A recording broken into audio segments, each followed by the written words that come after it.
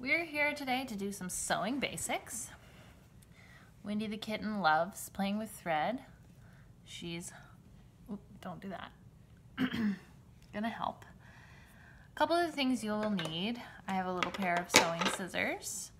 Um, depending on your what you're sewing, this is a very thin thread. Um, this will be more invisible uh, I am going to use a thicker thread, which is actually embroidery thread today so that you can see it. Um, I have this little box full of pins so I can pin things together um, and keep them in place while I sew. And an assortment of sewing needles. This is 50 different needles. Uh, today, what I'm going to be doing is sewing with the thick embroidery thread and this huge needle, hopefully so you can see it. Um, this needle is, you know, in a craft store you would find it as a, um, a doll needle. And then these are tapestry needles, which have really big eyes, so they're easier to thread, but they are short and blunt, so it's kind of harder if you have a tough fabric, it'll be harder to poke holes through. So I'm just gonna go through some of the basic stitches. Um, and the first stitch we're gonna do is called a running stitch.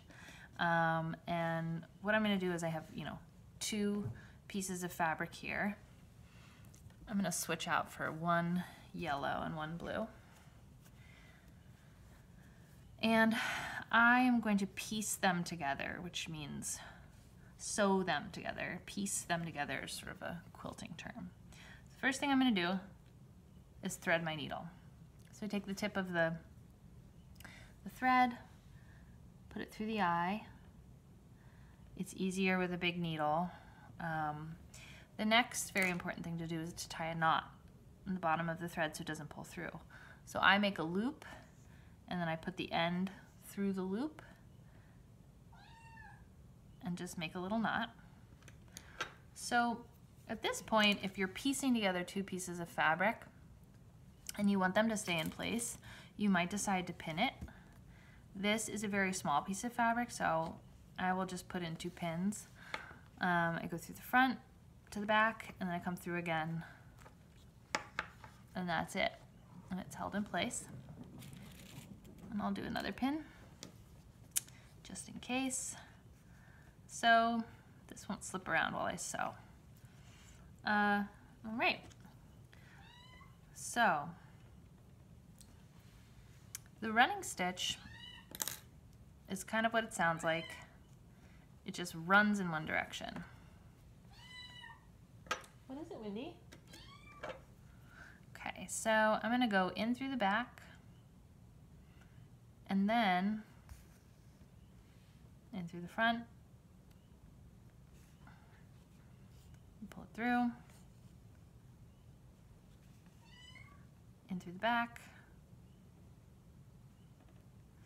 bigger your needle, the harder it is to poke through to make a, the bigger hole. Um, so this is a little tough, slow going. But as you can start to see, there's my running stitch. It's in the front and on the back. And then when you start really going, you don't need to pull the needle all the way through each time, but you can start the needle and put it through a little bit, put it through the next stitch, and then bring it back up to the front, bring it back to the back, back to the front, back to the back, back to the front, and you're just sort of building it up on the needle. And then when you have quite a bit, pull the needle, pull the fabric across the needle all at once, and you will see you've created a handful of running stitches all at once. So I'll go all the way to the end.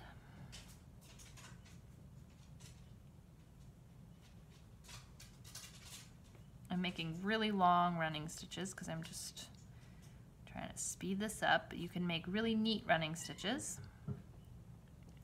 Um, if you want them to show, that's also an option because they could look really nice if you're careful um, and make them very even. Mine are not going to look nice, but whatever. Um, so a super thick needle and thread, I'm just pulling it through. What is it, Wendy? Come here, kitty, kitty. Come here. Hey, buddy. She's here. She's attacking.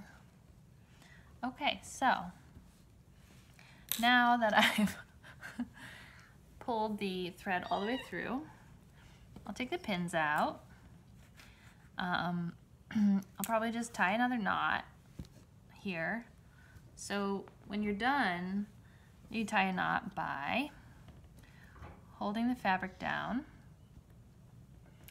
and making a loop, making a loop, putting the end through the loop, and then I just put my finger on the fabric where the knot will be and I pull through until the loop is closed in its little knot. So as you can see, you know, if this were, you know, facing up, it can look kind of good, can look cool, but what we've what we're doing is piecing together. So this actually is the back. And then you've pieced them together, you can iron it or just flatten it. And now you have one piece out of two. So the running stitch is the easiest way to piece two things together. So if you're gonna piece two things together, you want to take the two fronts, the two faces, um, and put them together and then uh, running stitch on the back so that you can open them up and you have a single stitch uh, a single piece with a hidden stitch. So the other option is um, when you want to piece two things together, we'll do another triangle here, another two triangles. So another way to piece two things together, another stitch, I just call a loop stitch I don't know what it's really called. Um, again, we tie a knot in the bottom. So we make a loop, put the end through the loop, tie it off. And I've got um, a little extra hanging off my needle here. It's folded over at the top a little extra hanging off. Um, and I'm just going to, I'm gonna, I'm not gonna pin this time because this is so small. So I'm gonna go through the front. I've tied the knot so it won't pull through. Okay, and now I'm just going to loop. So it's in the back. I'm gonna loop over the seam to the back again and pull it through. I'm gonna loop, oh, and so now I'm on the back and I'm coming to the front, over the seam, and going to the back again. Um, so I'm piecing them together like so. And you can start to see how it looks. Oh, that one I messed up. No, I messed up. I went through the through another thread.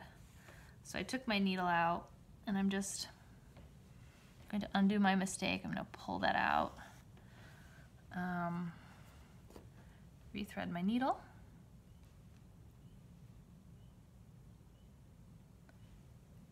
Keep going. So make sure your needle's clear. You're not going back through an old loop, so that's what happened. I went through the loop when I shouldn't have. So make sure your needle's clear, pull it through. Okay, and you start to see that you get this nice pattern where it's coming up and over, up and over, over the top of the seam. So that's one way to piece it together. I won't go the whole way, but you can see if we were to open it up, it would be similar to the running stitch where we've pieced together the two fabrics. And that's a seam there, okay? But the other thing you can do is this could be sort of an aesthetic effect where if you're really loose with your stitches and you give yourself some extra, and you start to pull them out, you get this effect that it looks like actual um, stitches, like if you got a cut and you needed to be stitched together, like Frankenstein style. So you see the stitches there. So um, that is a loop stitch and you can do it tight for piecing or you can pull it loose and you have Frankenstein stitches. Um, the running stitch is probably the fastest thing to piece two things together. So running stitch and uh, a loop stitch. Okay, so